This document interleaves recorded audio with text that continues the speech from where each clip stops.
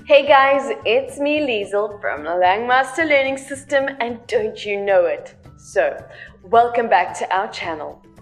In the previous video, I gave you a guide about common informal contractions in English. And in today's video, I'm back with some common abbreviations. Are you ready? Shall we jump in? Yes, let's do it.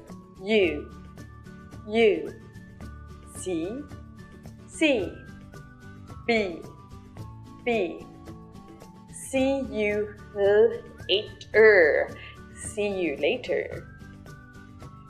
MSG for message, PLS for please, CLD for could, GD for good, VGD for very good, ABT about, THS this, ASAP as soon as possible, TKS thanks, TXT text, LOL lots of love. Or laugh out loud, X. A kiss, one to one, one to one, to you, to you, to you too, to you too, before, before, be for in. Bye for now.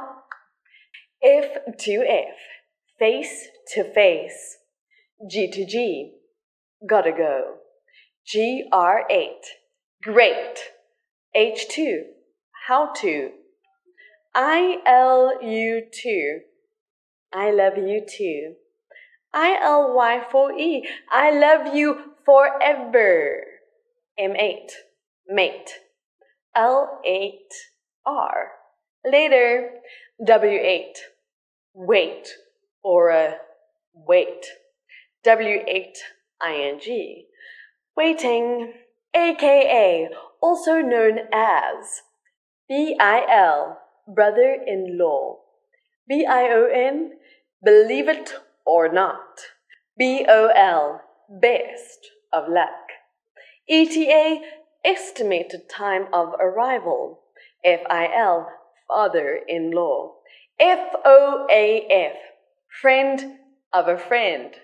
R, R, T, T, U, U, U, C, U, see you, I see, I see, PLZ, please, for you, for you, ASL, age, 6 location, AFK, away from keyboard.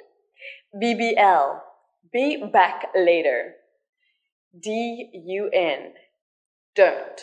YSS or YEP is yes. Wanna, want to. Sup, what's up? Well, that's it for this super fun little episode of contractions and abbreviations.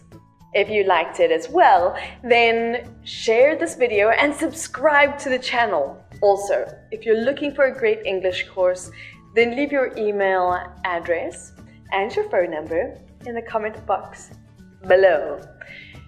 That's all we have time for. Keep practicing and keep exposing yourself to as much English as possible. Lots of love and bye bye.